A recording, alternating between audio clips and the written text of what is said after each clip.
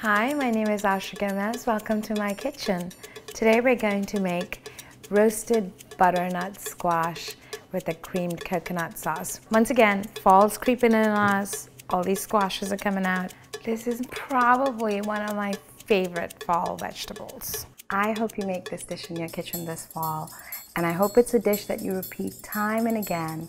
Happy cooking.